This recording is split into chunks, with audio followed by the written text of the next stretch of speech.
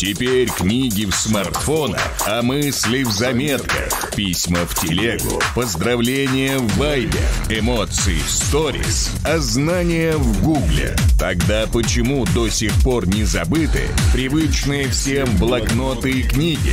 Просто когда уже по уши в digital, хочется что-нибудь сделать вручную, без автотюна и автопилотов, а вдоль Днепра тарахтит камыш. Красиво писать не запретишь. Новый блокнот от Шари Шоп. Пиши, твори, думай, действуй. Привет, дорогие друзья! Вот мое выступление в самом сердце, центре, в норе российской пропаганды. Там зарождается пропаганда, в ядре земли российской пропаганды. Ну вот я вам скажу, друзья мои, есть такое выражение, можно по-разному к нему относиться, падающего подтолкни. Так вот, этот падающий режим, преступный режим, я буду подталкивать любыми способами. И с удовольствием наблюдаю все, что происходит последнюю неделю. Ну а давайте теперь разберемся, а что там у Зеленского происходит и как они на все это реагируют, что там творится. С нами на связи украинский блогер и украинский политик Анатолий Шари. Анатолий, мы вас приветствуем. Ну, это вообще как? Здравствуйте. Ну вы так говорите, что там у Зеленского происходит. Вот я послушал с удовольствием ваш эфир. Я вам скажу, что я вместе с Шойгуш должен явиться в СБУ. Вы знаете, вместе с ним я пойду. В одной дивизии на одном танке. Виктор Николаевич, вы же за да, Анатолия да, замолвите да, слово? Да, конечно. Да. Я вам обеспечиваю полную безопасность, гарантирую вам. Для вас особо, да. Ну, давайте... Спасибо, да, вот меня с этим... просто запрашивают. Когда с этим северным потоком кидают э, Зеленского, ну он же так надеялся, так верил в Соединенные Штаты. Что сейчас там творится? Как это? Инфаркт Микарда? Ну, слушайте, я уже сделал, наверное, 10 видеороликов на эту тему, сделаю сейчас 11, потому что на самом деле за этим можно наблюдать вечно. Я прекрасно понимаю ваше ликование, и я бы хотел сказать, к примеру, а мне горько, а мне не горько а мне нормально, мне хорошо, эта власть меня преследует, я хочу, чтобы ей давали по морде чаще. Такой удар по морде, это очень, это очень ощутимо. То есть то, что произошло, для них, я думаю, э, вы же понимаете, много лет готовили к тому, что Nord Stream 2 это провальный проект что он не, не заработает. Я сегодня анализировал, подобрал ролики. Там, кстати, и дождь ваш попал, и Deutsche Welle. Вот. И он не все, наш. Как один рассказывает... Мы сразу скажем, это не наше. Вы понимаете, Это не наш дождь, да. Да, и они, а где рассказывали, что... Грибные дожди. Они рассказывали, что это все не, не сработает, что это все похоронено еще в декабре 2019 года. Они это все рассказывали, рассказывали. Потом Гордон, конечно, без него никак. Он сказал, что, ну, как от мира, вы помните, и все остальное, Керченский мост. Вот. И долгие годы готовили к тому, что это не получится. Ну, как долгие годы? Много месяцев втирали вот эту дичь. К примеру, канал э, украинский Вести 24, он так, 24 ЮА называется, его смотрит Зеленский. Там дно, там не канал, там днище. Так вот, они рассказали, к примеру, антифейк. Они говорят, что кремлевское руководство продолжает скармливать фейки собственному народу, а на самом деле Северный поток-2 уже давно провалился, и он не будет достроен. И тут бах, как гром среди ясного неба.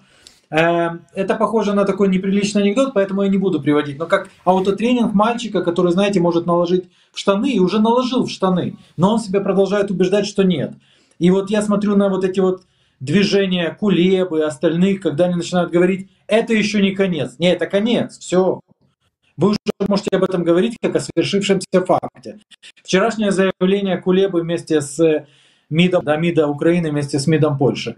Ну, они могут сделать еще 28 таких. Меня вообще очень интересно, есть тенденция. Посмотрите, вдруг внезапно начинаем мириться с Венгрией на, на фото, общий, общий враг опять. И вдруг венгерский министр иностранных дел приезжает. А у нас же война постоянная, холодная война. Из-за венгерских меньшинств, из-за языков, из-за так далее. Но здесь уже начинают мириться с Венгрией, а Венгрия сейчас э, в тяжелом состоянии находится по отношению к остальному Евросоюзу. У Венгрии да. могут на выход показать на самом деле из-за да. принятия закона о запрете пропаганды ЛГБТ. Та же самая история с Польшей. У Польши тоже не все так однозначно. Запрет абортов, авторитаризм, это то, что ставят как бы в вину полякам. Они следующие на выход из Европы. Украина начинает тянуться к тем, у кого скандальная начинает быть репутация. Мне это кажется просто зашквар за зашкваром и зашкваром погоняет. Вы знаете, есть такое отличное выражение «зашквар». Вот. И вот это то, что я сейчас это то, что я сейчас вижу. И э, со стороны Штатов что было? Вы знаете, когда Зеленский в Твиттере кричал через океан, когда встречалась Меркель с Байденом, вы там не забудьте о наших интересах, это уже выглядело идиотски. То есть это полный был идиотизм. Но э, в ответ последовало то, что и должно было последовать.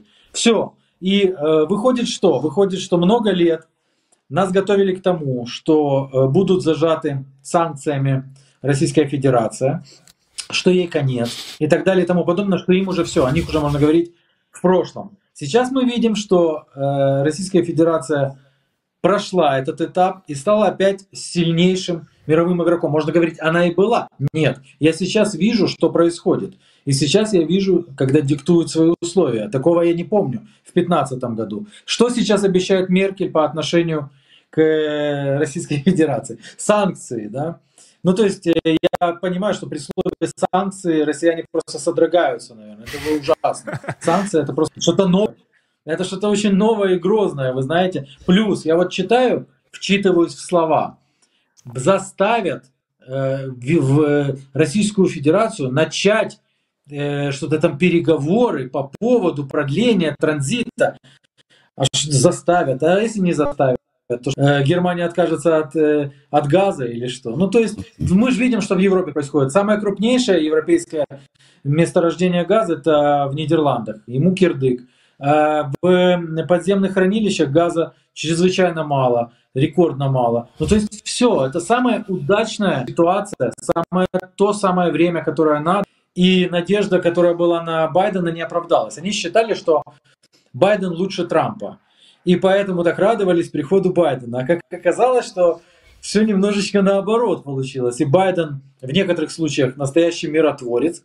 К примеру, он бы, вот уже бы, я думаю, что Обаме уже начали бы бомбить э, Кубу, да, и, или там еще при ком-то. Здесь же мы видим какие-то заявления, но за заявлениями не следует ничего такого, что нельзя исправить.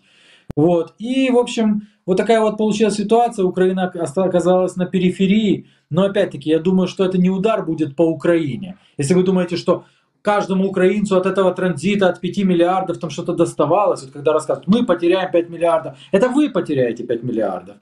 А на самом деле я считаю, что у кровавого агрессора не надо брать денег, это не, не этично.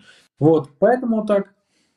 Не, ну тут, тут сейчас можно поспорить, потому что дата визита Зеленского в США на переговоры с Байденом 30 августа. Это дата, предложенная украинской стороной, сообщает глава правления НАК «Нафтогаз Украины».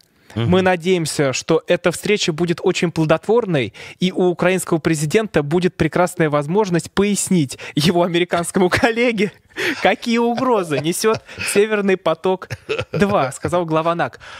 А, а Байден-то вообще в курсе, что у него 30 августа в графике стоит Зеленский? Смотрите, какая история. Вот вы, вам бы все смеяться. На самом деле, Э, Зеленская, как, как сообщил Кулеба, министр иностранных дел, Зеленского пригла, пригласят в конце июля. Это он четко сказал, это его слова, прямая речь. Потом началось начало августа.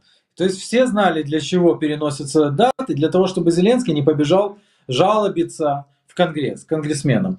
Понятно, каким? К республиканцам которые уже активно-активно критикуют Байдена, потому что он агент Путина. То есть вчера был агентом Путина Трамп, сегодня агент Путина Байден, все агенты Путина. И э, начали сдвигать эту дату для того, чтобы Зеленский не подожаловаться. Я полагаю, что никто ничего не согласовывал. Я читал там, вот мы согласовывали. Мне вчера сказал человек, который понимает в протоколе, что это вообще позор из позоров, и такого никогда не было. Потому что даты реально должны быть согласованы. Их сообщают, а потом каждая сторона следует даты, да, и в прессе появляется информация. Здесь ему назначили прибыть ко двору. Прибудешь 30-го. Билет у тебя куплен тоже через 4 часа, чтобы ты не побежал там э, жаловаться конгрессменам по поводу ПДЧ, Северного потока, потому что раздражает очень сильно разговоры про Северный поток Байдена и его компанию. Тут еще интересно.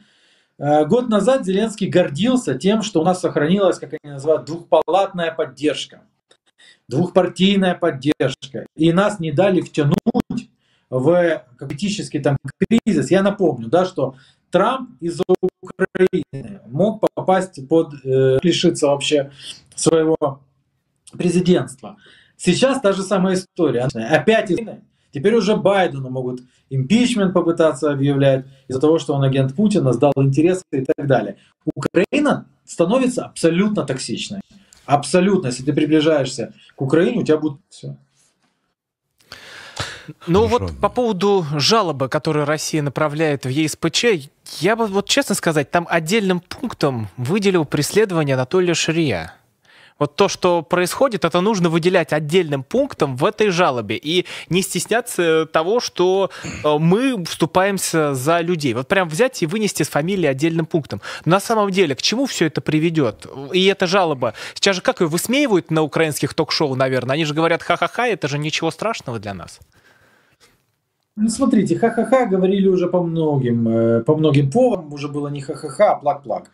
На самом деле, мне, э, я абсолютно не против. Почему? Потому что 10 лет я слышу о том, какой я прорыв, что я работаю с ФСБ, что я получаю указания из Кремля и так далее. Не далее, чем позавчера, по-моему, я сказал, все, пока-пока. Хотите считать пророссийским, считайте. Мне все равно. Абсолютно до лампочки. Поэтому, если Россия впишется, я скажу большое спасибо. Потому что тут же э, можно рассказывать что-то, там говорить политические там преследования. Можно просто дать документы, почитать, какие СБУ клепают вообще подозрения.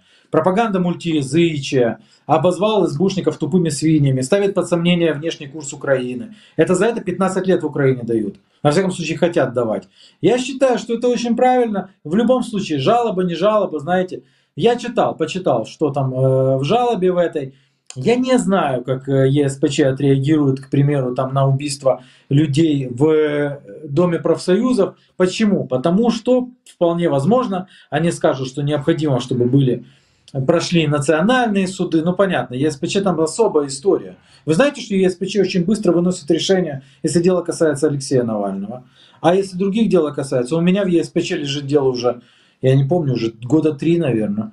Вот. И поэтому тут такая еще специфическая история. Я, кстати, должен сказать, что с этим же столкнулась, столкнулась украинская власть и некоторые люди, которые верили в то, что Европа или там западный мир это просто какая-то волшебная сказка, где нет личных интересов, где нет там э, двойных стандартов в том числе. Да есть, есть. И посмотрим, конечно. Мне будет интересно посмотреть на прохождение, на рассмотрение этой жалобы. Если у нее есть перспектива, то это будет круто, я считаю. И наказать в очередной раз тех людей, которые преследуют других за их мнение, за их взгляды, за, которые ничего преступного не совершали, к примеру, как я. Это хорошо. Их надо преследовать со всех сторон.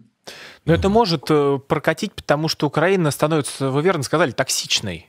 Причем страшно токсичной. Там э, куда ни ткни, везде или коррупционный скандал, и у Байдена там с сыном какой шлейф на Украине тянется. И вот теперь самый главный вопрос-то возникает. А для Зеленского это конец или нет? Вот что это такое? Госбюро Украины обязали возбудить дело о возможной госизмене Зеленского. Но это касается того, что якобы он сорвал спецоперацию по задержанию 33 вагнеровцев.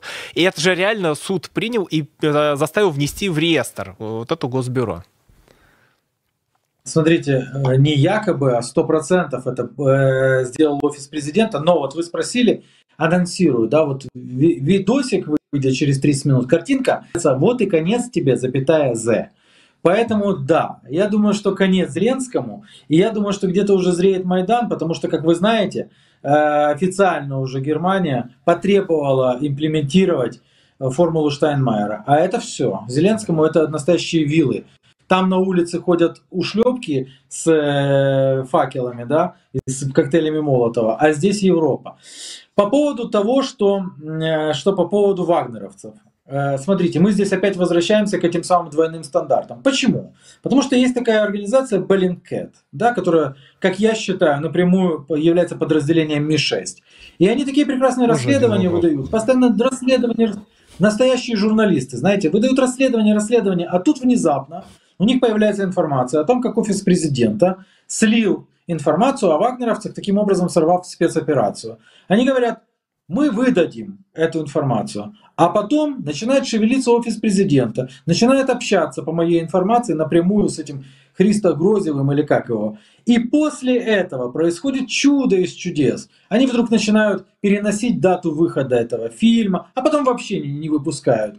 А что такое? Может быть, имели место быть какие-то соглашения товарно-денежные? А может быть, мы потом покупаем у Британии какие-то ржавые ошметки плавающие? Может быть, здесь собачка порылась? Знаете, у меня такое есть ощущение, потому что Ермак ходил как в воду, знаете, осунувшийся просто ходил. А потом расцвел, мне рассказывают, вот люди, близкие к телу, расцвел после того, как договорились. Вот вам и э, Беллинкет. Они сейчас будут продолжать забрасывать расследование про Навального, еще про что-то. А про это нет расследования. А почему? А я думаю потому, что высшее руководство, которое нашей страны прекрасно взаимодействует со спецслужбами, в том числе и Российской Федерации, но при этом готово осуждать всех других за мнимое сотрудничество со спецслужбами Российской Федерации. Вот моя уверенность стопроцентная.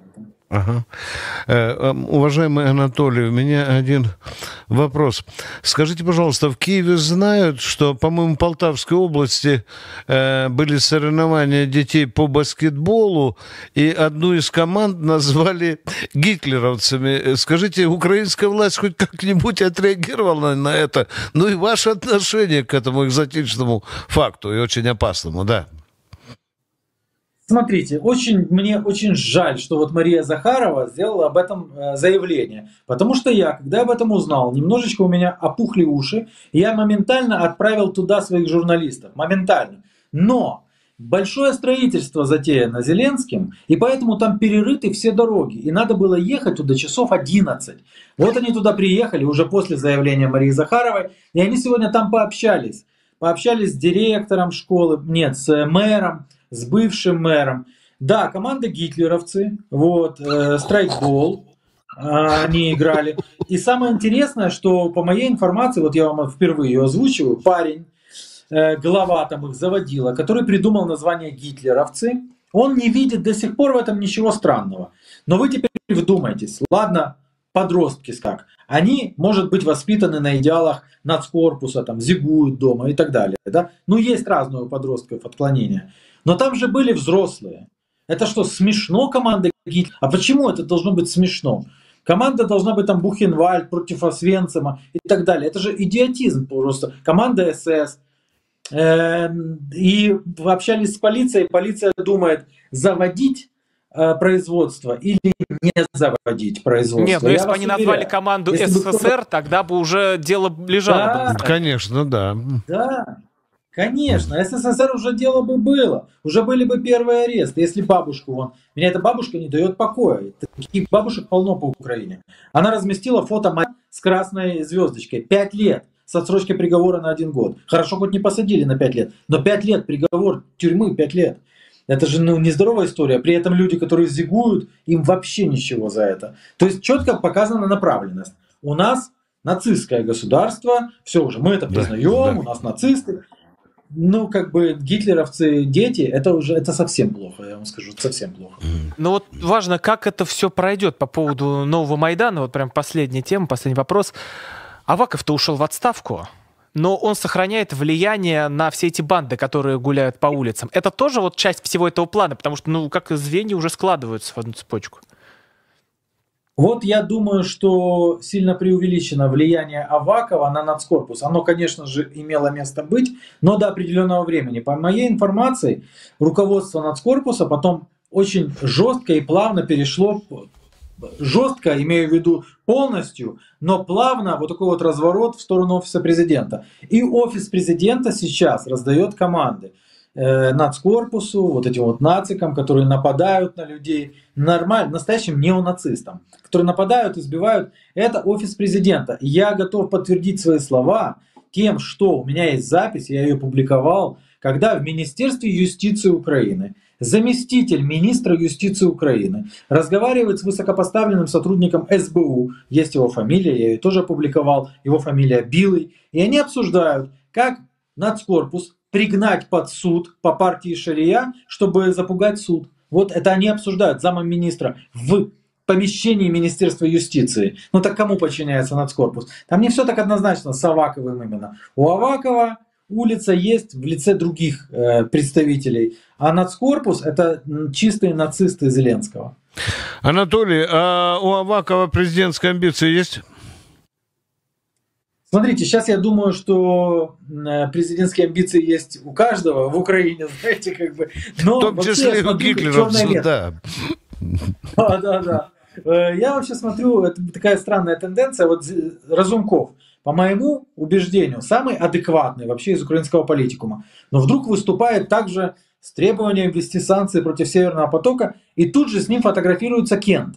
А вы знаете, что фотография с Кентом – это плохая примета. Потому что с Аваковым сфотографировался Кент, на следующий день Авакова нет. А нет фотографии Зеленского с, с Кентом? Я все жду, когда Кент уже к нему подкатит, и они сфотографируются. Посодействуйте там. Анатолий, благодарим, да, что присоединились. Анатолий спасибо. Шари был с нами на связи. Переходите и подписывайтесь спасибо. также и на YouTube-канал Анатолий Шари. Там сейчас будет тоже большой ролик, большое видео. Добрый день, это Вадим, сосед сверху. Из-за вашего ремонта у меня стена просела. Ау, вы дома? Я же слышу ваши инструменты. Алло, это Жек? Что мне делать? Из-за соседа моя квартира рушится. Да, это Жек. У нас рабочий день уже закончился. Звоните послезавтра с 11 до 13. Да как же это? Вадюш, ну, не нервничай. Но нужно что-то делать прямо сейчас. Помнишь, Валера рассказывал, как решил проблему с аварийным деревом во дворе? Обратился на платформу «Отклик». Кажется, вариантов больше нет. Отклик.com.ua Готово. Должны откликнуться. Есть щель, есть провисание плиты небольшое, но просто насколько это критично. Мы инициируем вопрос выезда сюда комиссии. Оставляй отклик на нашей платформе. Давай менять страну к лучшему.